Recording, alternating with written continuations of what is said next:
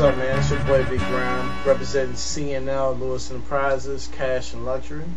Um, basically, I saw on YouTube, you know, some people was asking about, you know, doing a tutorial for the Edirol Orchestra software, so I thought I'd just do one real quick, um, nice and easy. Um, basically, I'm using Sonar 6, but, you know, same principles going to be applied to Cubase, to Windows, Visual Performer, Logic, you know, pretty much all the other software. But um, I've been using Sonar since Pro 9, so it's been I, I stay using it. It works for me. But um, basically, I have the software right here, which is the audio, and this is the MIDI. All right. Um, the default is the flute. And um, one of the questions was how do you change sounds or use different sounds. Basically, you go to the MIDI track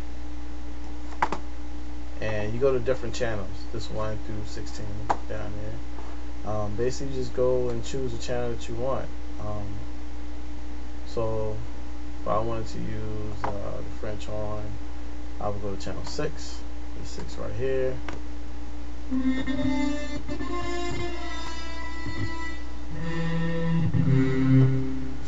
Um, which of course to change the sounds, you just click on it and you choose the sounds that you want.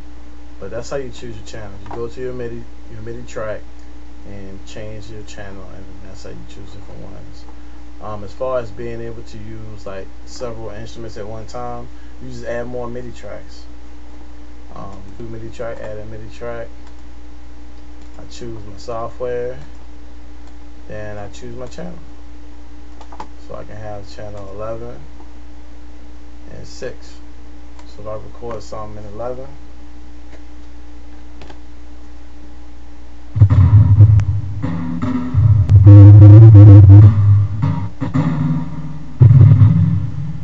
Alright, then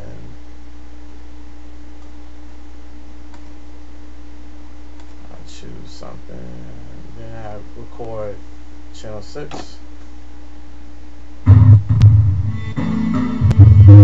They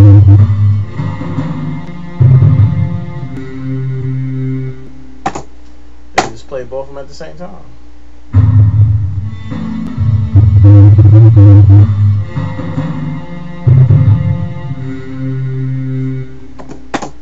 So basically, two or more MIDI tracks, record them, and there you have it. You have your different instruments playing at the same time.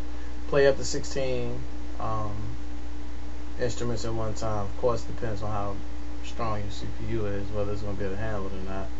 And uh, as far as other features on it, you can edit your sound. So if I wanted to edit my flute, I just go to the flute, click on edit, and boom, there's my editor window.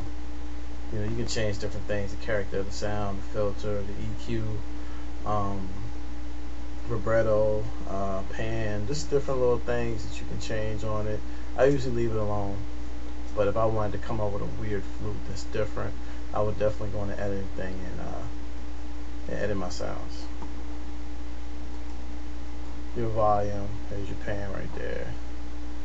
Um, you can also change the style and how your instruments are arranged because you know it pans and, and stuff for you. If I want to change, let's say I want to do a band style, and you can also preview it on here. So if you go to style, click on style, you can click preview right here.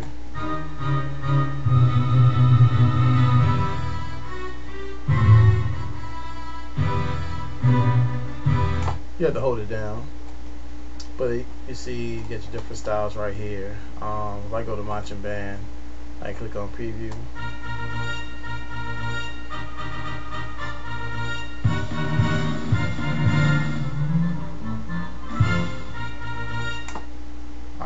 You just click apply if you want to apply that style. I'm to click apply. It's asking you, do you really want to do this? You say yes okay. And then it's switched up the way that everything is arranged for you.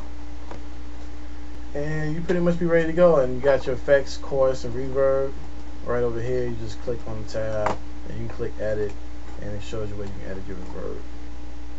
Click on chorus, edit your chorus.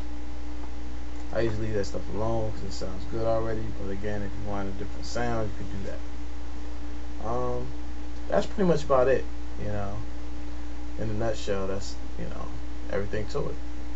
Peace.